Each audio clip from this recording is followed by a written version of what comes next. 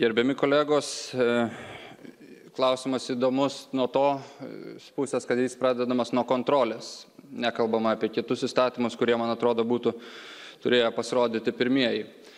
Į šitą diskusiją norėjau pasikviesti vieną žmogų, kurį kildina lietuviu.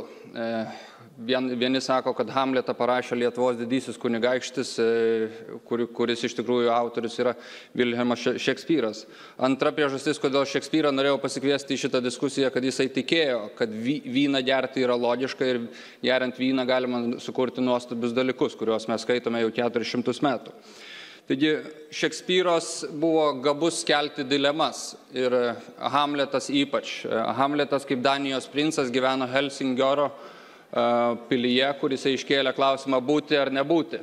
Jeigu šitą klausimą perfrazuotumėm būti ar nebūti alkoholio politikai ir palygintumėm ją Danijos ir Švedijos atveju, nes iš Helsingioro vos per 3 km matosi Švedija ir tenai keltai kursuoja kiekvieną dieną apsipirkti važiuojančių švedų į Danijos pusę, palyginkime, kaip sekasi tenai.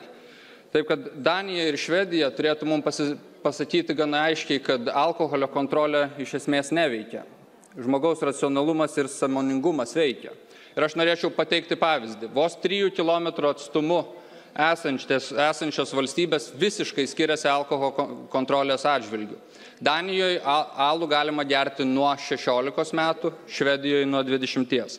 Danijoje leidžiama alkoholio reklama visur, išskyrus medijose nutaikytose į jaunimą. Švedijoje draudžiama visur, išskyrus internetą.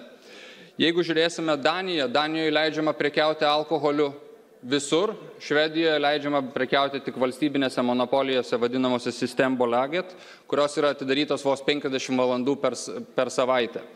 Šios e, valstybinės monopolijos parduoda 61 procentą alkoholio viso, viso suvartojimo rinkoje. Jeigu pažiūrėsime į Daniją, akcizai Danijoje yra tris kartus mažesni negu Švedijoje. Reiškia, alkoholis yra pigesnis. Danai net uždirba daugiau negu švedai, nes jie turi didesnį BVP per asmenį. Ir šitos dvi valstybės, abi dvi suvartoja daugiausiai alkoholio, yra didžiausia proporcija dalis visuomenėje, kurie vartoja alkoholį. Danijoje vartoja alkoholį 93 procentai visuomenės, Švedijoje 90 procentų visuomenės. Atmetus sergančius, negalinčius, netoleruojančius ir atmetus nešiosius, iš esmės alkoholį vartoja Švedijoje ir Danijoje visi. Tad dar vienas įdomus faktas, kad Danijoje mažiesiam aludariam taikomas kaip ir Suomijoje lengvatinis PVM tarifas, vietoj 20 taikomas 7,5 procento. Ir dabar prie faktinių domenų. Iš tikrųjų, Švedija, turėdama itin griežtą alkoholio kontrolę, būdama vos 3 km atstumu nuo Danijos, išgeria tik tai pusantro litro mažiau alkoholio. Tai yra 9 ir 10,5 litro palyginimui. Alkoholio kontrolė, kokia jinai bebūtų griežta Švedijoje, jinai nesustabdo juos gerti tiek pat, kiek, kiek Danijoje. Tuo pačiu Danija, jinai žinoma pasaulyje kaip Kalsbergo gamintoja, žinoma kaip mūsų didžiausia investuotoja į mūsų alkoholio pramonę, turiu omenyje laus labiau pramonę. Danija yra laimingiausia tauta pasaulyje.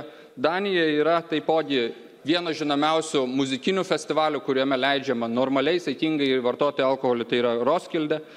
Ir ten nėra problemų. Tuo tarpu, jeigu pasižiūrėti į mus, Lietuva jau yra pritaikiusi griežčiausias sankcijas alkoholio kontrolėje. Mes reguliuojame ir reklamą, mes reguliuojame pardavimo vietas. Akcizas yra užkeltas tiek, kad mūsų alkoholio įperkamumas su vidutinė alga yra vienas mažiausiai, e, mažiausiai Europoje galinčių įpirkti alkoholio litrą. Taip kad mes lietuviai iš tikrųjų problema yra ne alkoholio kontrolėje, bet troškulys, kuris mus skatina gerti. Bet tas troškulys yra ne pas visus.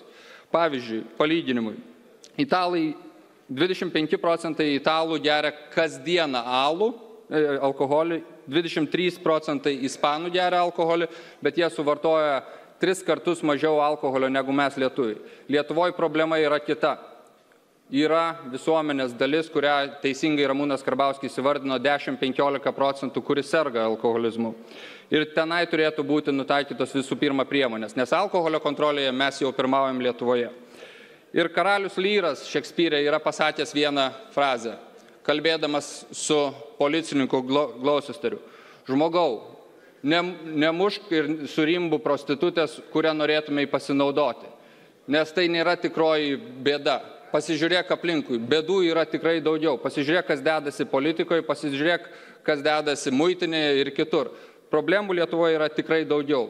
Ką daryti vaikams, kurie provincijoje neturi pinigų eiti po pamokinės veiklos, Jūsų valdančiųjų dauguma atmetė neformaliojo krepšelio papildymą 2,5 milijonų eurų, eurų dotaciją, kuri baigsis ir iš tikrųjų nebeveiks nuo birželio pirmos dienos.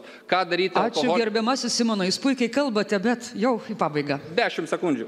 Ką daryti alkoholikam, kurie turi išlaukti 14 dienų, nuėję pas šeimos gydytoją, gauti siuntimą į stacionarą ir tada nueiti tik tai pas psichiatrą.